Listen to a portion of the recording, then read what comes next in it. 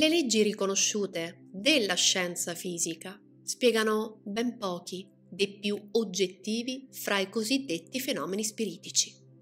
Mentre dimostrano la realtà di certi effetti visibili di una forza sconosciuta, finora non hanno permesso agli scienziati di controllare a volontà nemmeno questa parte dei fenomeni. La verità è che i professori non hanno ancora scoperto le condizioni necessarie per produrli.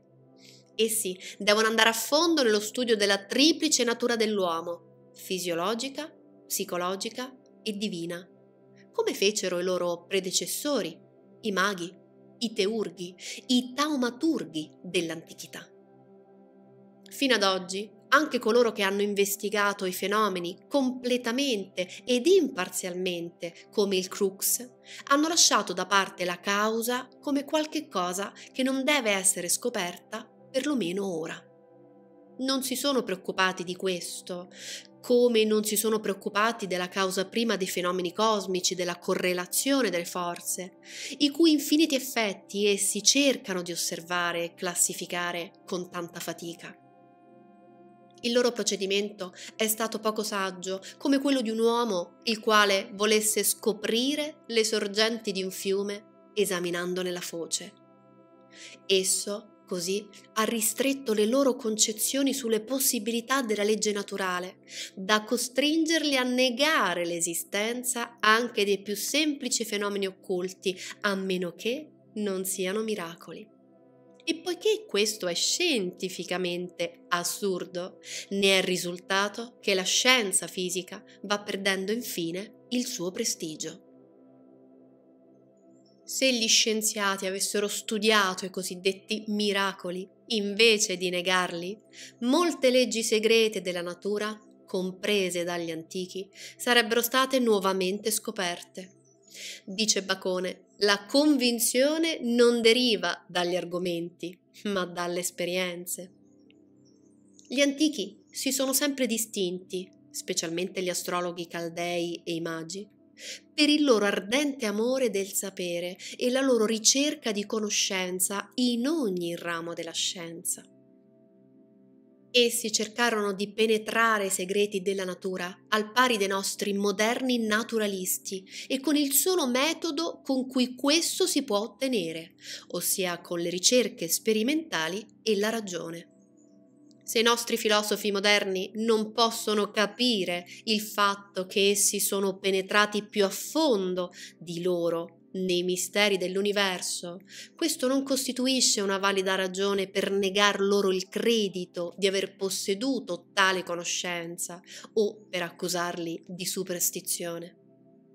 Nulla giustifica questa accusa ed ogni nuova scoperta archeologica è contro di essa come chimici, gli antichi rimasero ineguagliati e nella sua famosa conferenza sulle arti perdute, Wendell Phillips dice La chimica dei periodi più remoti ha raggiunto un livello che noi non abbiamo nemmeno avvicinato. Il segreto del vetro malleabile che, sospeso per una delle sue estremità, si stira per il suo stesso peso, fino a divenire un filo sottile che ci si può avvolgere attorno al braccio. Sarebbe così difficile a scoprire nei nostri paesi civili come volare sulla Luna.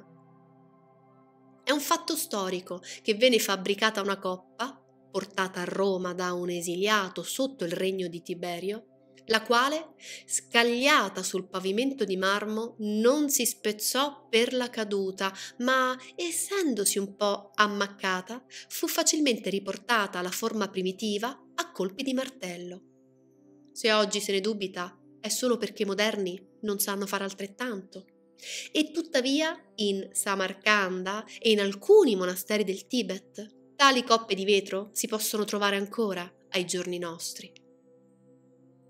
Vi sono persone che affermano di poterlo fare in virtù della loro conoscenza del tanto deriso e negato Alka-Est, il solvente universale. Secondo Paracelso e Van Helmont, questo agente è un certo fluido naturale capace di ridurre tutti i corpi sublunari omogenei o misti al loro ens primum o materia originale di cui sono composti, oppure in un liquore uniforme, omogeneo e potabile, che può unirsi con l'acqua e con i succhi di tutti i corpi, mantenendo tuttavia le proprie virtù radicali. Se nuovamente mischiato con se stesso, sarà convertito in pura acqua elementare. Quali impossibilità ci impediscono di credere a questa affermazione? Perché questo agente non dovrebbe esistere e perché questa idea dovrebbe essere considerata un'utopia? E ancora, perché i nostri chimici sono incapaci di produrlo? E tuttavia si può concepire, senza un eccessivo sforzo di immaginazione, che tutti i corpi debbano essere derivati, in origine, da qualche materia prima e che questa materia, secondo gli insegnamenti dell'astronomia, della geologia e della fisica, debba essere stata un fluido. Perché l'oro della cui genesi i nostri scienziati sanno così poco, non dovrebbe essere stato in origine una primitiva o basica materia d'oro, un fluido ponderabile che, come dice Van Helmont, per sua stessa natura o per una forte coesione fra le sue particelle, acquistò poi forma solida? Sembra che vi sia ben poco di assurdo nel credere in un ens universale che risolve tutti i corpi in un ens genitale. Van Helmont lo chiama il più alto e il più efficace di tutti i sali, il quale, avendo ottenuto il supremo grado di semplicità, purezza e sottigliezza, è il solo ad avere la facoltà di rimanere immutato e non alterabile da parte delle sostanze su cui agisce e di dissolvere i corpi più refrattari ed intrattabili, riducendo pietre, gemme, vetro, terra, solfo, metalli, eccetera, in sale rosso di un peso uguale a quello della materia dissolta. E tutto questo con la stessa facilità con cui l'acqua calda scioglie la neve. In questo fluido i fabbricatori di vetro malleabile sostenevano, e sostengono ancora, di immergere il vetro comune per parecchie ore, facendolo così divenire plastico. Abbiamo una prova pronta e palpabile di queste possibilità. Un corrispondente straniero della società teosofica, un noto medico che ha studiato le scienze occulte per più di trent'anni, è riuscito ad ottenere quello che chiama il vero olio d'oro, ossia l'elemento primo. Chimici e fisici lo hanno visto ed esaminato ed hanno confessato di non sapere come sia stato ottenuto e di non poter fare loro stessi altrettanto. Nessuna meraviglia se egli desidera che il suo nome rimanga ignorato. Il ridicolo e il pregiudizio pubblico spesso sono più pericolosi dell'inquisizione di un tempo. Questa terra adamitica è parente prossima dell'Alcaest e uno dei più importanti segreti degli alchimisti. Nessun cabalista la rivelerà al mondo perché, come egli si esprime nel gergo ben noto, sarebbe come spiegare le aquile degli alchimisti e come si possano tarpare le ali delle aquile un segreto che costò a Thomas Vaughan 20 anni di studio.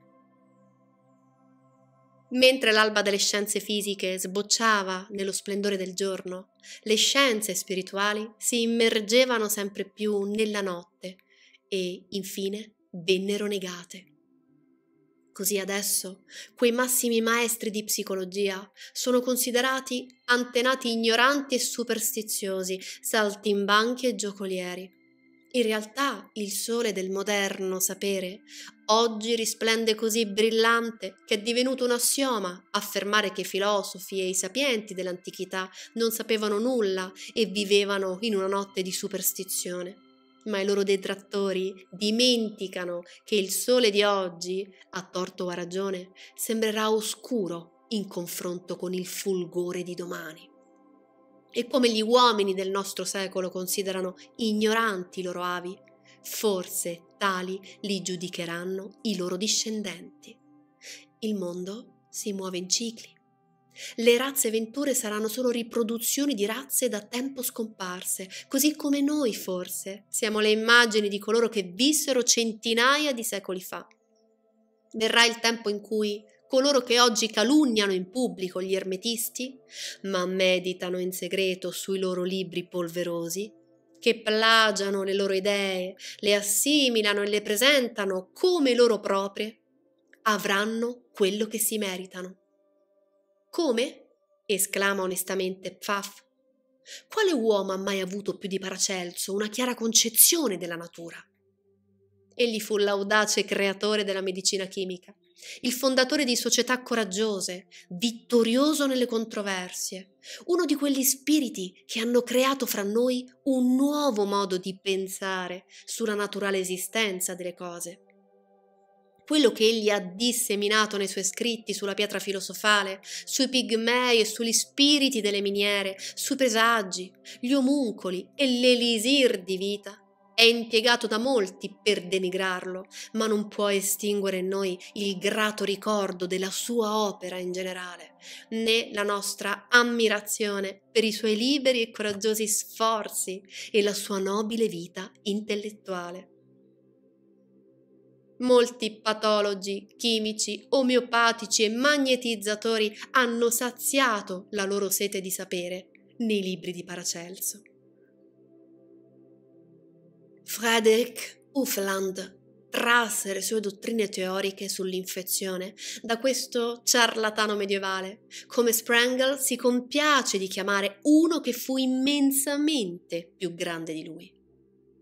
Hammond, che cerca di difendere questo grande filosofo e si sforza nobilmente di riabilitare la sua memoria calunniata, parla di lui come del massimo chimico del suo tempo e così fanno il professor Molitor e il dottor Enne Moser, eminente psicologo tedesco. Secondo la loro critica delle opere di questo ermetista, Paracelso è il più meraviglioso intelletto del suo tempo, un nobile genio.